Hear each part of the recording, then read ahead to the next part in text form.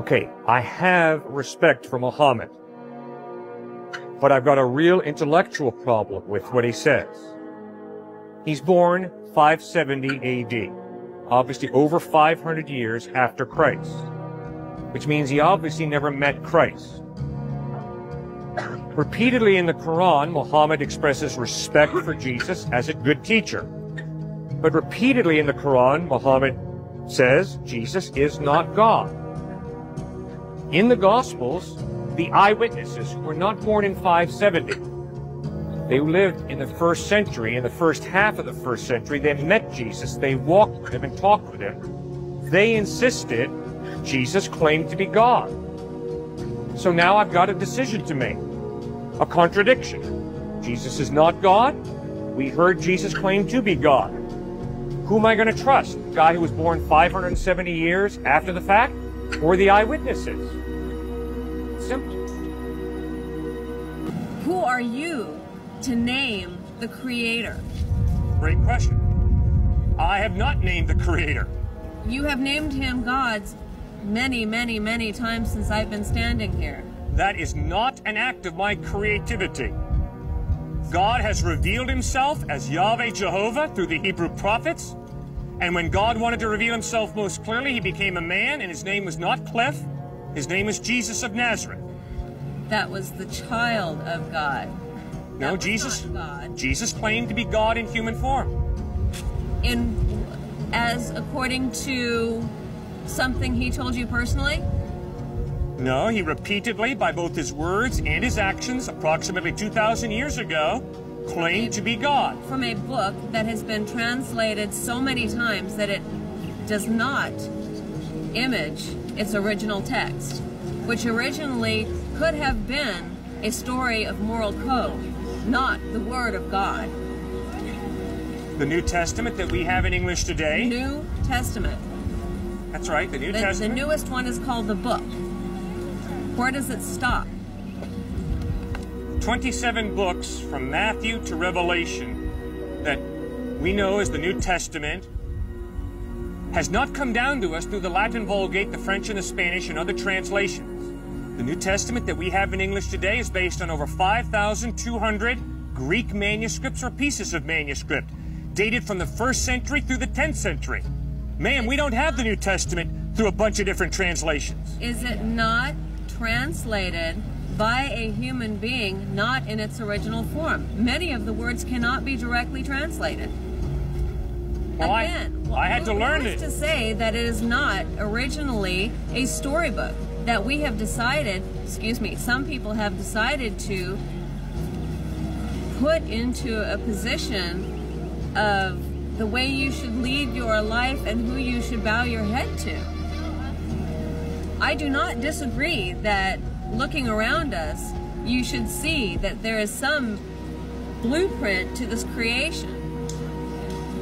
But who are you to stand here on our campus to tell us that it's your God? I am a beggar who has found where living bread is in a personal relationship with Jesus Christ, and I've come to tell fellow beggars where they too can find bread in their own relationship with Jesus. They know that they can go to church. Right. I've been invited here by a group of students to speak. I'm exercising my right as an American to free speech. I'm not telling you to believe in Jesus because of me. I'm telling you guys, go to the source documents, the historical narrative, the Gospels of Matthew, Mark, Luke, and John, study them for yourself, and ask yourself, does not the historical evidence point to Jesus being a reliable source of information about God? Why did God allow Hitler to kill six million Jews? Why does God let normal, healthy, innocent children die of natural disasters and severe diseases and war? God is disinterested in human affairs. And if he is disinterested in human affairs, why would anybody worship him? When God became a human being, what happened to him? Okay, now he's a classic example of what I'm talking about. He asked a very hard, very serious question, and before he even allowed me to answer, he walked away. Is that being open-minded? No, he didn't ask a question. He made a point. I want you But he disguised it in the form of a question. That is like to hear the intellectual dishonesty. I was saying I'd like to hear the answer to that question. Why should we worship him Thank he you. either doesn't care if we die Thank or he's much. not all powerful. I appreciate your honesty. First point. When we say that God is all powerful, we do not mean that everything that happens is God's will. Why? The all powerful God chose to limit his power by creating us with a free will. So if I walk up to her, smack her beautiful face, and then turn to you and say, God made me do it, I'm a liar, I'm a con artist. God gave me a hand for a purpose. Purpose to respect her and to love her. But because I have a free will, if I choose to abuse this hand, roll it into a fist and send it crashing into her beautiful face, and then have the audacity to say, God made me do it, I'm a liar and I'm a con artist. The Bible says that it's easier for a camel to pass through the head of a needle than it is for a rich man to receive the kingdom of heaven. Right? But uh, the career that I'm pursuing makes a lot of money. So, like, how do I balance making that money and still going to heaven? How do you balance being a great athlete and go to heaven? No difference from a great musician. How do you balance being a great musician and trusting in Christ humbly and going to heaven? No different from a great intellectual. How do you balance being a genius intellectually with going to heaven? It requires humility. Humility is the ability to say, God, you have given me these gifts. You've given me the ability to make money, to play sports, to make music, to create art. Now, what am I to do with these gifts to glorify you, to honor you? It's that simple, but it's profoundly difficult. Because human arrogance, as C.S. Lewis points out in Mere Christianity, in his chapter, The Great Sin, human pride, human arrogance is right at the heart of sin. It's God, get lost.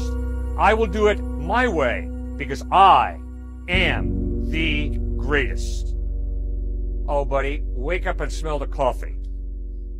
If you had been born at a different time, on a different continent, you would never have had some of the opportunities you have today at this fine university.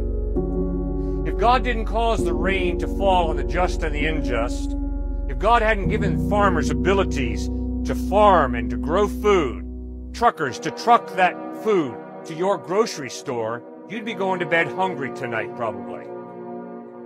I am so blessed with all the gifts that God has given me. You are so blessed with all the gifts that God has given you. It's incredible.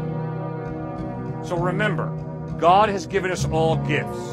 Now, whatever those gifts are, use them to serve Him by serving people. Live to glorify Him, to honor Him.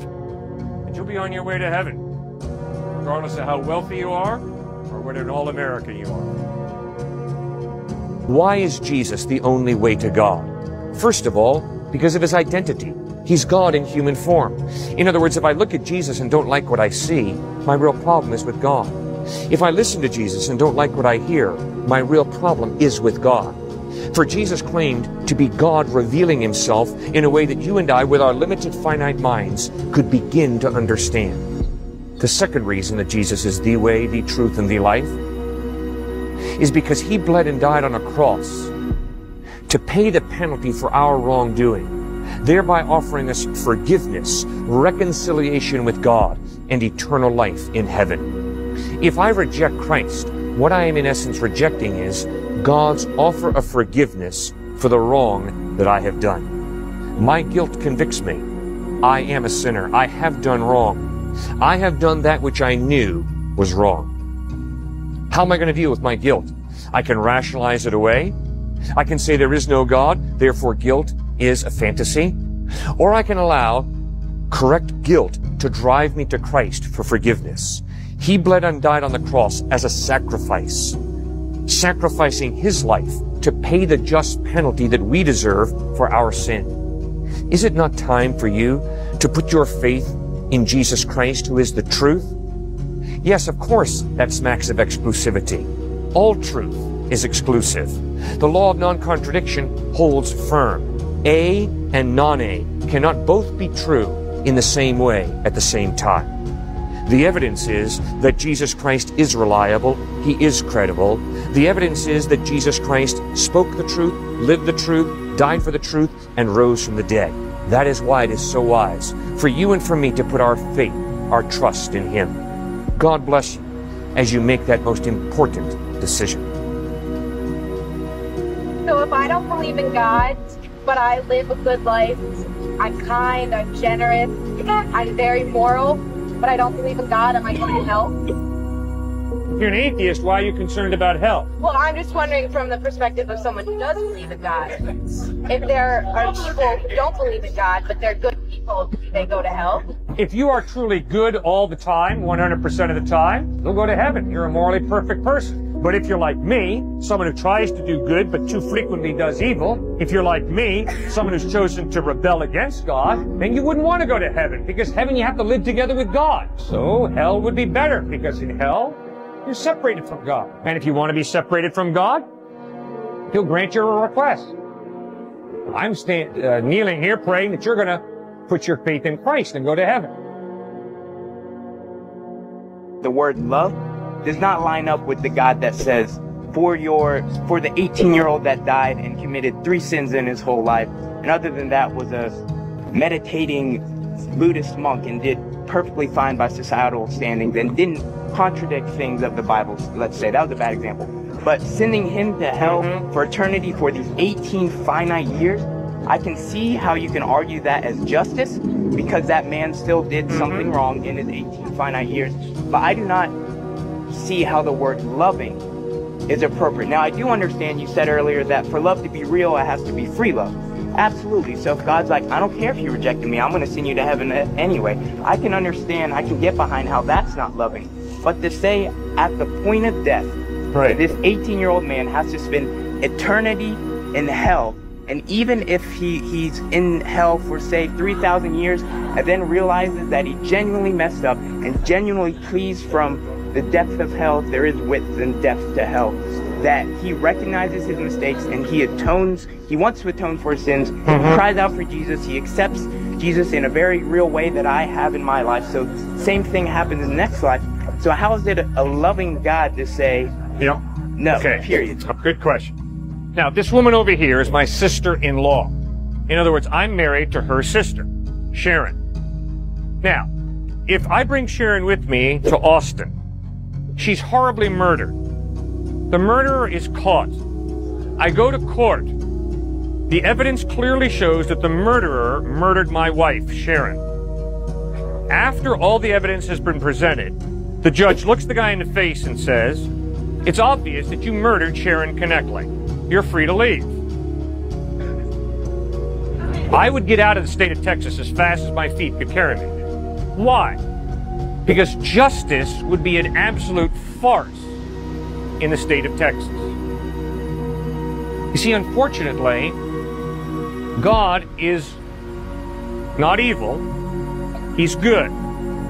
But because He's good, He has to guarantee that justice triumphs. Otherwise, He's not good.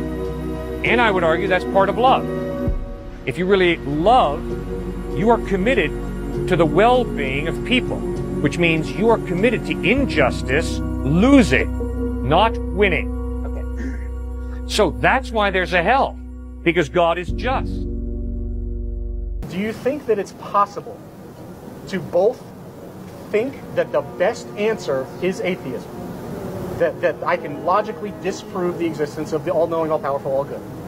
Yet, through knowing my own limitation, through knowing that logic itself can be flawed, that our brains cannot understand everything, is that enough of a doubt to admit the kind of faith that's required to believe in God? Sir, all you've got to do is look at the evidence for the reliability of Christ. Then you say, No, I'm sorry. Not enough evidence. I can't believe. But when you say that, what you are clearly saying is, before I trust anything to be true, it must meet this level of evidence. So my two questions for you then are, in light of the fact that Jesus Christ is not supported by enough evidence, what is the object that you have chosen to trust in? And secondly, what is the preponderance of evidence that supports this option as being more reliable than Christ? I would say that the, discussion isn't between two different things that, that explain the, the, the environment that we see, but it's a very specific proposition of either an all-knowing, all-powerful God exists or it doesn't. and I believe that the evidence supports the second. And I don't think that you need to that that, that argument specifically requires there to be something else that you believe in. Just like I mean, you can talk about the non-existence of something, if it were, if it logically would impact your life in some way, and it doesn't impact your life in that way, then it doesn't exist. Without positing something else instead.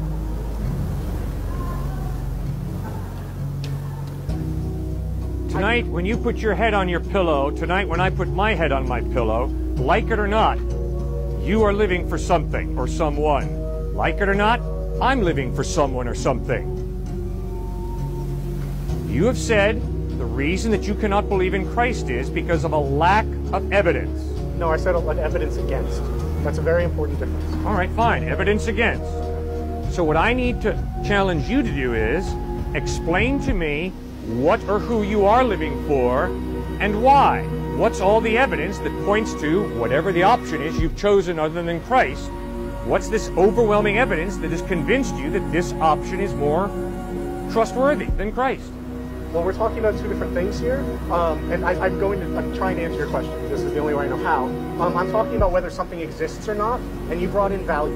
You brought in why why are you living? What are you living for? You, you know what? Why are you good? Something like that. Like what is your purpose? And the question that I was asking was very much about what exists. And if God does not exist, frankly, if nothing above me exists, that doesn't imply that I have nothing to live for. Right. That, yeah, and I do definitely have things to live for that I can specifically point to that have nothing to do with whether there's a God. Right. That's right. I know that. Okay, then just I don't thought I understand just- why there's a connection there. For some reason, you and the two gentlemen before, I'm not sure that you guys respect language the way I do. How do you mean?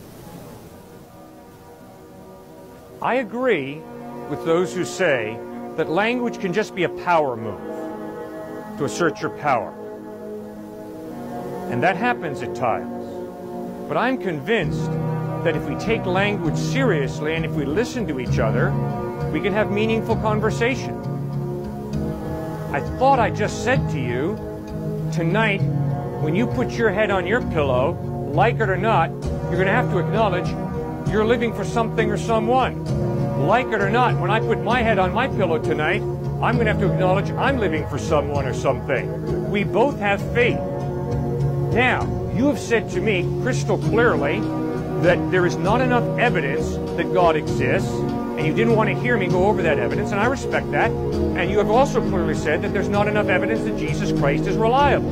Fine, no problem. But when you say to me, the reason you can't believe that God exists, the reason you can't believe that Jesus Christ is the truth is because of lack of evidence, in order not to be an intellectual hypocrite, I'm asking you, what do you live for? And what's this preponderance of evidence that convinces you that this option is superior to God I'm a Muslim, Yep. but what we learned about Jesus, peace Yep. be upon him, is that we love him. Yes. We love all the prophets, Moses, Abraham, and we adore them and we follow them. Yep. We learned in the Bible that Jesus used to fall on his face in prayer, and we do that five times a day. Beautiful. We learned that Jesus worshiped the one true God, that's who we follow. So my question is that as a Muslim who loves and adores and follows the teachings of Jesus, will I be punished or go to hell if I don't follow your idea of what Jesus was or what he taught according to Christianity? If Muhammad spoke the truth, I'm going to hell. Because I'm a blasphemer. I'm worshiping Jesus as God. So if Muhammad spoke the truth, I am going to hell. If Jesus spoke the truth, that he's God in human form who bled and died on a cross to forgive me and to give me eternal life, if Jesus spoke the truth, I'm going to heaven because my faith is in him. Why would I choose to trust Jesus instead of Muhammad? Because although I have a great deal of respect for Muhammad, like one of the five pillars, give alms to the poor, I obviously respect that. I obviously respect the way Muhammad believed that Jesus was born of a virgin, lived a sinless life, ascended to heaven, is coming back a second time. I agree with all of that. Muhammad made a crucial mistake. He denied the deity of Christ. Now, when was Muhammad born? 570 AD. which means he obviously never met Christ. But Matthew, Mark, Luke, and John, excuse me, Matthew, Mark, John, Peter, James met Christ. And they all insisted that Christ claimed to be God. Repeatedly in the Quran, it is stated Jesus is not God. He's a good prophet, but he's not God. Repeatedly in the New Testament, it's stated Jesus is God in human form. Now I have a decision to make. Who am I going to trust? A man who lived 500 years after the fact? Or people who lived during the life of Christ, met him, and talked with him? Sir, when it comes to historical knowledge, that's a no-brainer for me. I will always try and go back and connect with the eyewitnesses to be my primary source of information about any historical person. If you think I'm going to trust the guys who flew planes into the U.S. World Trade Center to be my primary source of information about Mohammed, you're nuts. I think that's bigotry. To find out about Muhammad, I better have the intellectual honesty to read the Quran. And if I use some terrorists as a reason to reject Muhammad, I'm a narrow-minded bigot. So, if you're seriously considering Islam, you better read the Quran. And all I'm doing is standing here saying, if you're really interested about Jesus Christ, you owe it to yourself to read the Gospels, the eyewitness accounts of Jesus, and ask yourself, does the evidence point to him being reliable or not? What's the last thing you want to say to the audience? For God so loved the world that he gave his only Son, that whoever believes in him should not perish but have eternal life. A comedian in Las Vegas said, How much do you think I have to hate you if I believe that Jesus is the way to heaven and not tell you?